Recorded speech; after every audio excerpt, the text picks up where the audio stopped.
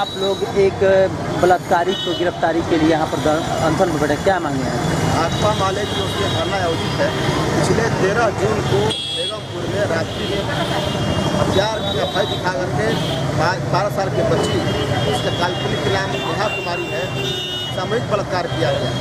बलात्कार की घटना के खिलाफ उसके परिवार के लोगों ने वृद्ध बच्ची ने स्थानीय में मुकदमा दर्ज किया है। इसके बावजूद भी आज तक इन अपराधियों के खिलाफ बड़ी कार्रवाई क्यों नहीं की गई?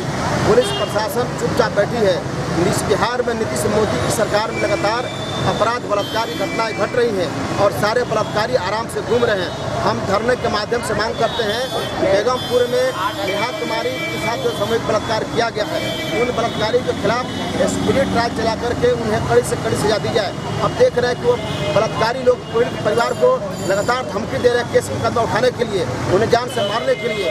हम पीड़ित परिवार को सुरक्षा की मांग करते हैं और मांग करते हैं कि पीड़ित परिवार को उचित मुआवजा दी जाए। और साथ ही साथ अगर इसके खिलाफ अगर जिला प्रशासन स्पीडी ट्रायल चला करके कार्रवाई- कड़ी कार्रवाई नहीं करती है तो भाकपा माले आगे आने वाले दिनों में इस घटना के खिलाफ बड़ा आंदोलन खड़ा करेगी। आप देख रहे हैं कि सरकार, नीतीश मोदी की सरकार या दिल्ली में मोदी की सरकार, पूरे देश में यह घटना घट रही है, बलात्कारी घटनाएँ। अभी आप देख रहे हैं मंदसौर में सात साल के बच्चे के साथ बलात्कार किया गया कठुआ के अंदर में बलात्कार किया गया और सारे बलात्कारी आराम से घूम रहे हैं। हम ये मांग करते हैं कि मोदी की सरकार में नीतीश की सरकार में अपराधी खुलेआम घूम रहे हैं और अपराधी घटनाओं को अंजाम दे रहे हैं। पूरे देश में इसके खिलाफ आंदोलन चल रहा है और आरा में भी आगे आने वाले दिनों में इसके खिलाफ बड़ा आंदोलन खड़ा किया जाएगा। परिचय बता मालनगर से भोजपुर में जिस प्रकार से बच्चियों के साथ, नाबालिग बच्चियों के साथ लगातार दुष्कर्म की घटनाएँ बढ़ती जा रही है, वहीं विगत दिन तेरह जून को एक घटना घटी थी, बेगमपुर में सामूहिक दुष्कर्म की, जिसको लेकर आप लोग धरना दे रहे हैं। और आप एक पेशे से वकील हैं तो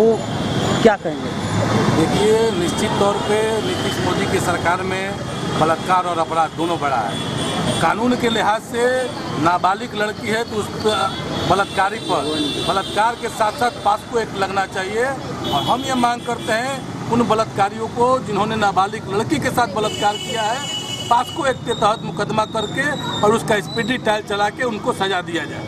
पूरा शहर, जिला अपराध से, बलात्कारियों से पीड़ित है। लेकिन जिला प्रशासन कोई भी अभी तक कार्रवाई नहीं किया है। यहाँ के सांसद आर के सिंह कुछ पुल, पुलिया और सड़क बना के उसी को आरा का विकास मानते हैं। लेकिन आरा शहर में बढ़ते अपराध के पर बलात्कार पे महादलित लड़की के साथ गैंगरेप होता है। बड़ा मामला है, लेकिन आरा सांसद की चुप्पी, पूरे भारतीय जनता पार्टी और जदयू की चुप्पी निश्चित तौर पे बलात्कारियों को बचाने का काम कर रही है और हम भाकपा माले के लोग आरा शहर के अमन पसंद नागरिकों को संगठित करके, आरा शहर की जनता को संगठित करके और इन बलात्कारियों के खिलाफ, अपराधियों के खिलाफ मुकम्मल लड़ाई लड़ेंगे।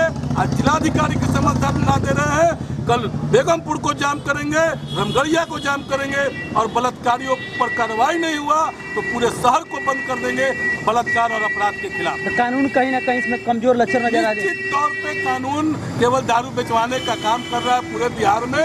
ये लोग केवल शराब माफियाओं के साथ मिली भगत करके पूरा दारू बेचवा के और मालामाल होने के चक्कर में इनका पूरा पुलिस तंत्र लगा हुआ है नीतीश मोदी सरकार का। परिचय बता दीजिए अमित कुमार बंटी अधिवक्ता नेता भाकपा माले आरा नगर कमेटी। आपकी बच्ची के साथ गलत काम किया गया था अब तक न्याय नहीं मिला। क्या कहेंगे? मतलब आप क्या आगे करेंगे आप लोग? आगे हम फांसी के आंदोलन जिन लोगों ने दुष्कर्म किया उनके फांसी की आप मांग हाँ। हैं। कहाँ का ये घटना है? क्या नाम आपका?